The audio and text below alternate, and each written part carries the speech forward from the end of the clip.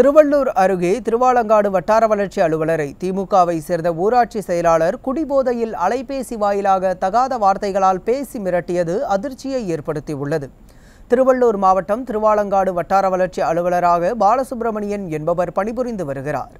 இந்நிலையில் இவரிடத்தில் அரிச்சந்திராபுரம் ஊராட்சி செயலாளர் சிவக்குமாரை பணியிட மாற்றம் செய்தது குறித்து திமுகவை சேர்ந்த வியாசபுரம் ஊராட்சி செயலாளர் ஜெயசீலன் தொலைபேசியில் தொடர்பு கொண்டு பேசியுள்ளார். அப்போது பாலசுப்பிரமணியத்தை ஜெயசீலன் குடிபோதையில் தகாத வார்த்தைகளால் பேசியுள்ளார். மேலும் சிவக்குமாரை பணியிட மாற்றம் செய்ய எவ்வளவு லஞ்சம் வாங்கினாய் என கேட்டு உன்னை வேலையை விட்டே தூக்கி விடுவேன் எனவும் மிரட்டியுள்ளார்.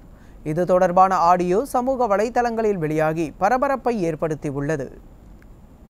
ஒரு கிளர்க்க மாத்துறதுக்கு எவ்வளவு லஞ்சம் வாங்கினேன் நான் பக்கா திமுக ஒரு கிளர்க்கே மாத்துறதுக்கு எவ்வளவு லஞ்சம் வாங்கினேன் அது மட்டும் சொல் நான் அண்ணா அறிவாளத்தில் நேரடியா உட்காருவேன். டிஆர் பாலாண்டு உட்காருவேன். ஆர் ஆசாண்டு உட்காருவேன்.